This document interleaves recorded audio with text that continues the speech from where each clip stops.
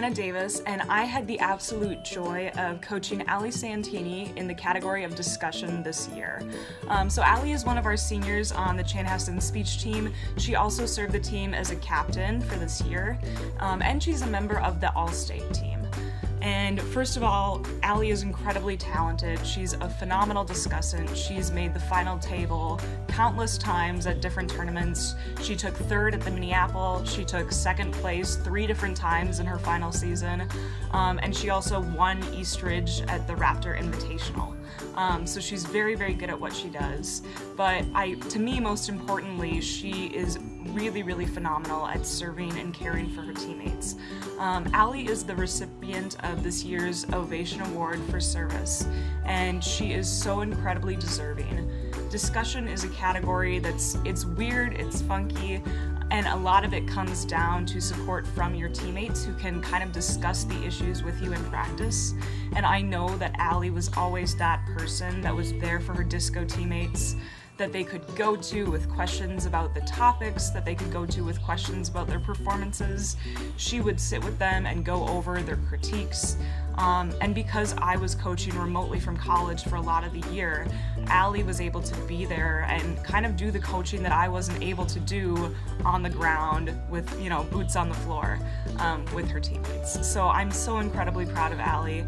And she's also been a phenomenal captain for the girls swim and dive team. I know because I'm an alum of that team too and just the care and the effort that she puts into serving others, I think is just so incredibly admirable. So Allie, I am so proud of you. I'm so excited for you.